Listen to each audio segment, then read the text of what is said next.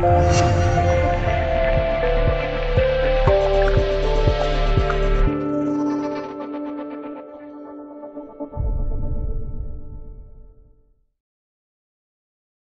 式大鱼榜活动截止到九月十五日二十四点，还没有发帖参加的钓友要尽快到花式社区参加活动了。活动之举在九月十五日二十四点之前发帖的钓友，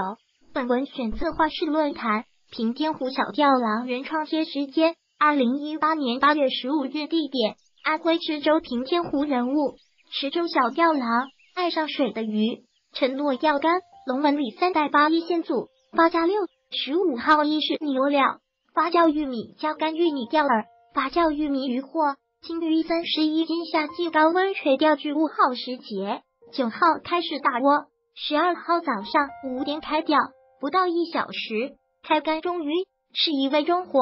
六鱼四十分钟称重二十二斤补一些玻璃赶紧上班十三号继续六点四零浮漂直接黑漂。立刻提竿，龙三终于根本抬不动，坚持不到十秒，切线补窝上班，回家马上做了八加六，明天报仇。十四号继续七点零五终于，龙三终于因为杆子强，线主大，这次直接拉，可能鱼也不大，五分钟不到上岸，一称只有十一斤，捕窝上班。十五号休息，哈哈，今天好好干一天了。约上钓友爱上水的鱼一起战斗，他是七点二杆子拖九米多的线钓一个窝周围。说来也怪，这几天都是七点前就开口，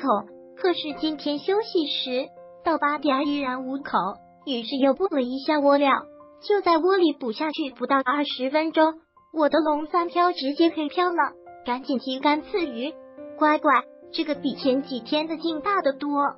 第一回合差点拔河，吓得我都丢了失手绳。可是当我慢慢收回失手绳，抬起杆子后，就再也没有给他机会了。下钓台，化石爆竿把六鱼了。龙三遛大鱼真的是太舒服了。期间朋友承诺赶来溜了几分钟，经过四十多分钟遛鱼，成功上岸，三十一斤。十点多爱上水的鱼中获一尾，可惜将杆少转换拔了。中午我又中获一尾十六斤，其后几天也是陆续中鱼，可惜都没有超过这尾，期待明年再破个人记录了。